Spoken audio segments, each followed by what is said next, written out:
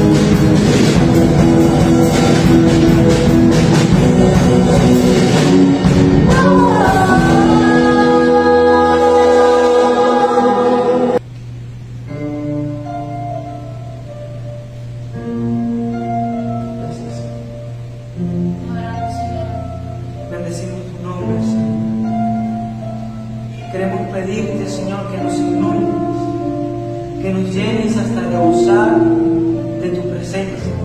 En cada nación levantamos este clamor, en cada casa, en cada iglesia, Señor, cada casa que ahora es una iglesia, Padre amado. Pedimos, Señor, que nos llenes. Estamos hambrientos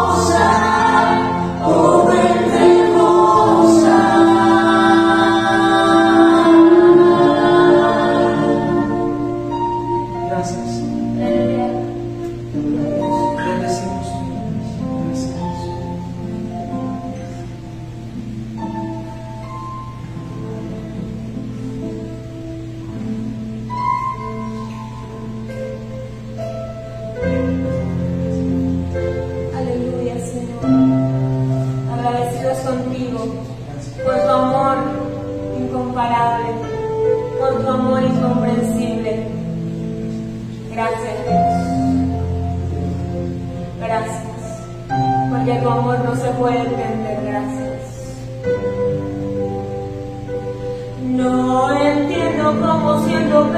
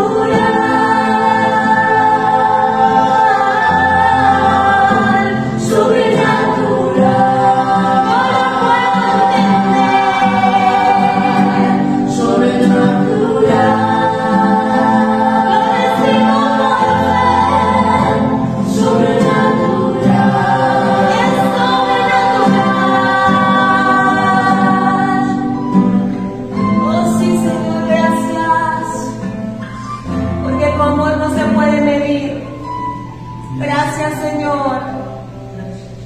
Oh, gracias, amado Dios, por tu hermoso sacrificio. Gracias. Gracias porque nada nos puede separar de tu amor. Gracias porque ni hambre, ni tribulación, ni angustia, nada nos puede separar del amor de Dios. Gracias Jesús. A ti sea toda gloria. Así sea toda honra, Señor.